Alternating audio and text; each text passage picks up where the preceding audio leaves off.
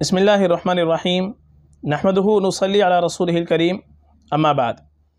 محترم ناظرین کرام، ایک صاحب محمد سمیر، انہوں نے سوال کیا ہے، احمد رضا کے معنی بتاؤ پلیز۔ دیکھیے، جو نام آپ نے پوچھا ہے، احمد رضا۔ احمد، ایک تو یہ اللہ کے نبی صلی اللہ علیہ وسلم کا نام ہے۔ احمد کے معنی آتے ہیں بہت زیادہ تعریف کرنے والا۔ اور احمد کے معنی آتے ہیں بہت زیادہ قابل تعریف۔ तो अहमद, ये तो इसके मान आते हैं तारीफ़ करने वाला, बहुत ज़्यादा तारीफ़ करने वाला। और रज़ा रज़ा के मान आते हैं खुशनुदी, रज़ामंदी, इसी तरीके से आरज़ू, चाहत तो बहुत सारे इसके माने आते हैं। अहमद अल्लाह के नबी सल्लल्लाहु अलैहि वसल्लम का नाम है और अहमद के माना बहुत ज़्यादा तारीफ़ करने वाला। तो अहमद, रज़ा, ये नाम रखना चाहे, ये भी रख सकते हैं। ये नाम रखने में भी कोई ख़राबी नहीं है। ये नाम भी रखा जा सकता है। अच्छा नाम है, माना के अतबार से, बड़ा खूबसूरत नाम है। فقط والله أعلم.